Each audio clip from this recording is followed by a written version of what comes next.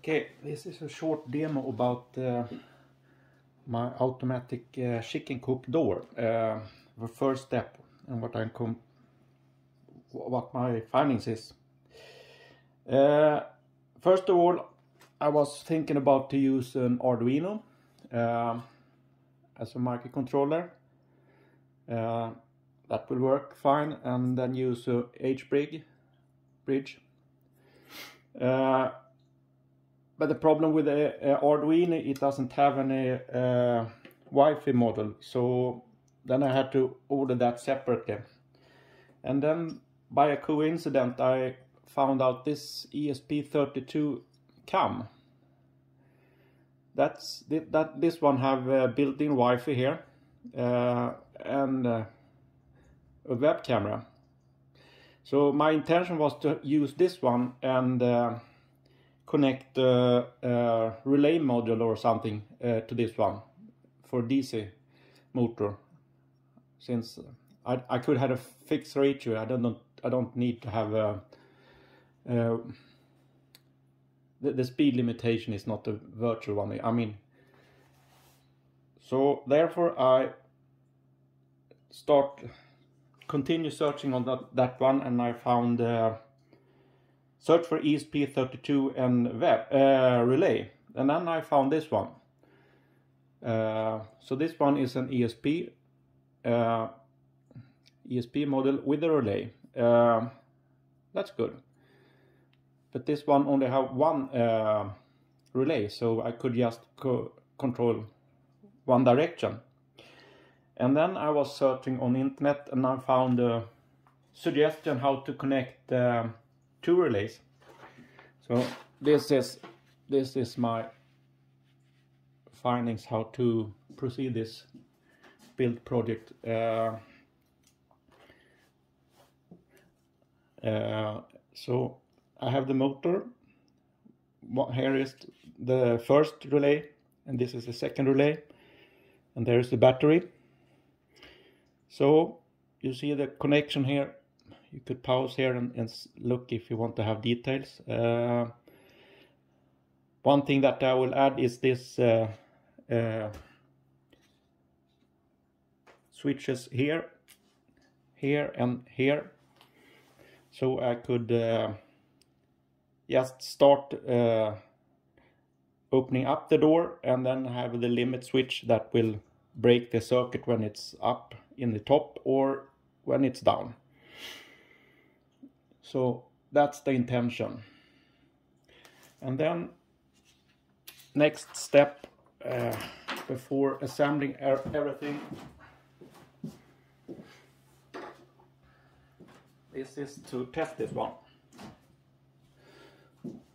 So here I have a DC motor with a, a fixed gear and it will be like I think it was 40 rotations per, per minute or something. It's quite slow. It will be I think it will be quite uh, powerful. And this is the ESP with dual uh, relays. And you can see the wiring wiring. Zoom in a bit with this one. There you could see the cables. Uh, these two cables go to the, the engine and this is the 12 volt connection DC power. Uh, sorry. This is the connection to DC 12 volt. So uh, this board you, you, could have it there, there several versions exist so this one is for 12 12 volt input here and also 12 volt out to the relay.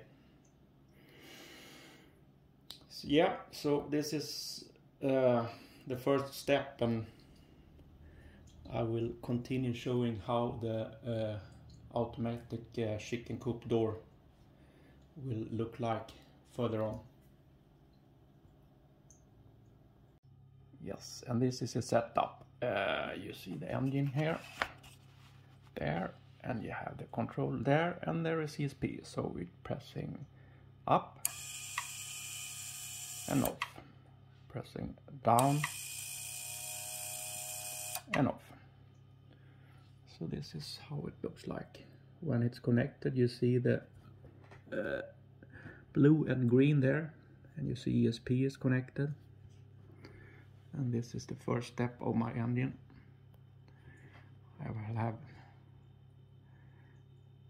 ah, you will see later on how it will look like so this is how the Wi-Fi controller looks like. And uh, you see here it's uh, 20 but buttons or 20 connections or something.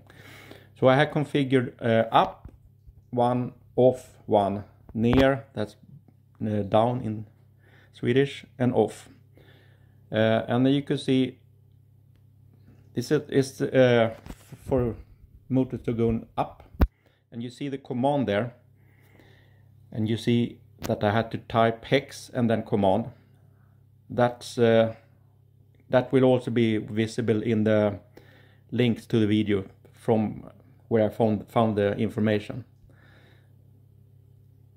And this is the command for shutting off. Power off the that relay the same relay relay 1 and this is for powering on relay number 2 and you see the command here as well in hex. And this is the command for oh sorry. This is the command for powering off. So what I do now is to uh, connect to my uh, Wi-Fi there. And you see my Wi-Fi address Wi-Fi controller. That means that it has uh, contact with my ESP and I could do go up and power off. I could go down and powering down. So that works finally. up. Down that's it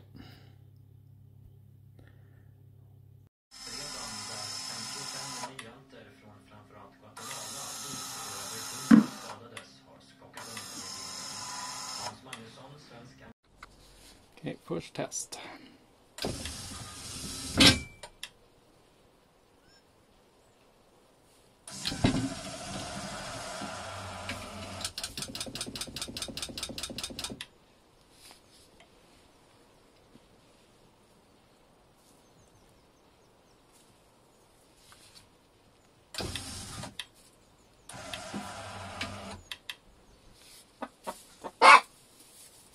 Det bra där? Ja. En kompis som ligger här också. Ja. Ska se om det Okay, I tried to demo this final version until now. Uh, here you can see that the tube compared to previous video is uh, with a virus or rope is tied against around is a little bit smaller to get better power in the uh,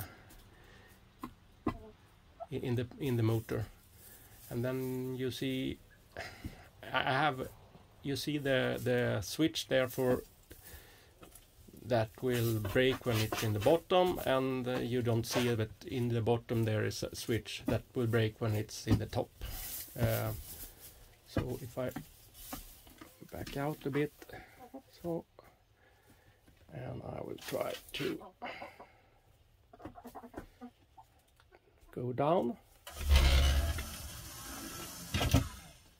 So and then we will try and go up.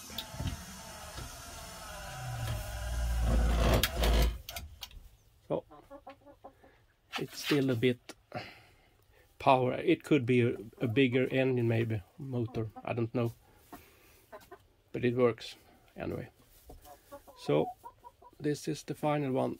I will leave uh, links to some useful things that I have found useful when, when I build this in the description. So good luck.